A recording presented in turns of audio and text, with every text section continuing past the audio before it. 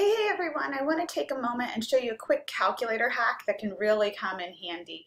So let me show you how you can, like you, if you put a long string of information in your calculator, but you have a small typo in it and you want to adjust it, I want to show you how you can use your calculator's memory to adjust it more quickly than having to re-enter it. So let, let me show you. So let's say you had something, and I'm just making numbers up. I hope these actually work. Um, meaning I just don't have any typos. So let's say we had that. That's ugly. I hit enter. Okay, it's 12.846. Great.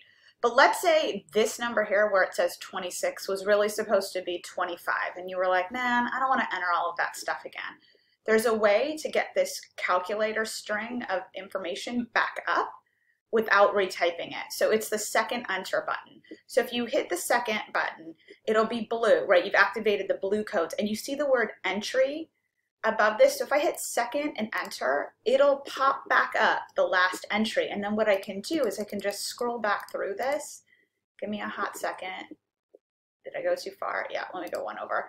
And then I can change that to a five, right, if that's what it was supposed to be. And there we go.